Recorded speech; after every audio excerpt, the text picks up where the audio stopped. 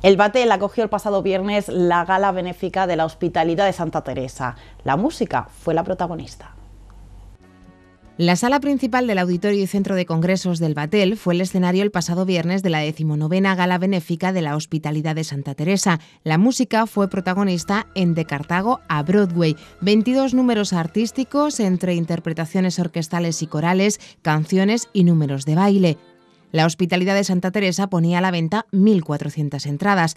El acto estuvo dividido en dos partes, donde participaron agrupaciones como la Orquesta Espíritu de Santa Teresa, Amigos de Baile Cartagonova y el Ballet de la Escuela Municipal de Danza de Cartagena, entre otros.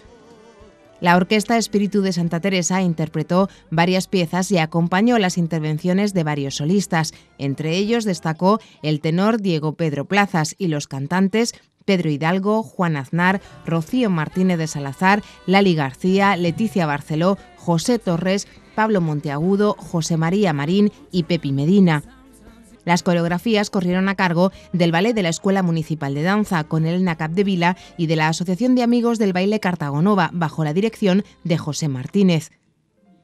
Todos los artistas participaron de manera desinteresada. Los beneficios serán para el mantenimiento del hogar y el comedor social de la Hospitalidad de Santa Teresa.